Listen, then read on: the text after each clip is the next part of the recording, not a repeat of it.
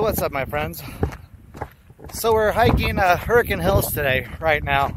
It's right at sunset, and we're coming to a great part here called Panorama Point. There's a little plaque, and it kind of shows you all the different areas to pay attention to from this point.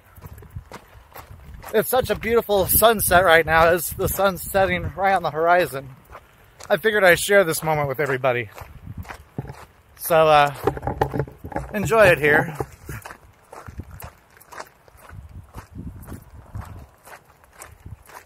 If you look off to the right, or at least the direction I'm off in this direction, you'll see Zion National Park.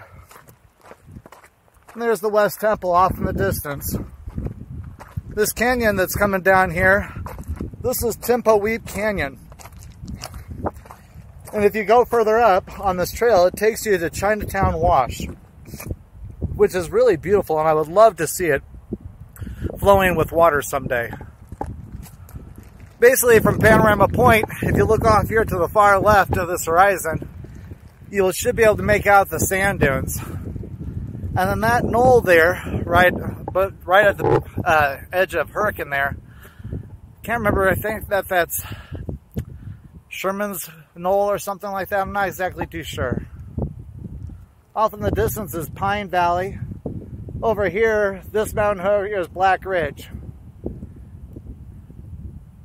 think I'm going to pause this video now and maybe come back here right after the sun sets because I think with the shadowing, you'll have a hard time seeing how amazing this spot is.